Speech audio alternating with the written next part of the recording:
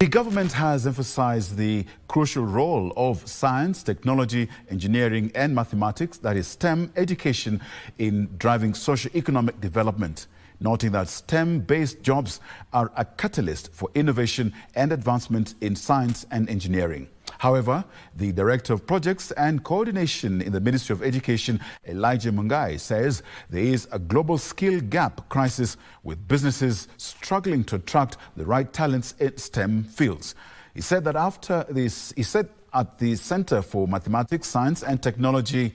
Education in Africa, that is CEMASTEA, is positioned to transform how STEM education is implemented at the school level in Kenya, addressing the gap the curriculum, uh, uh, the CBC curriculum, and therefore we seek to tap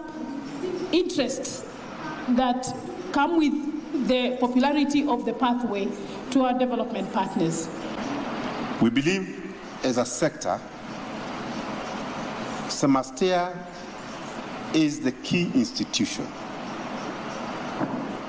that will revolutionize STEM education the future of our children inspires us all to plan very well,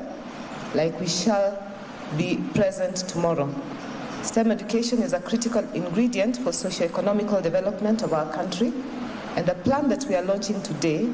is a landmark in an endeavor to collaboratively strengthen STEM education.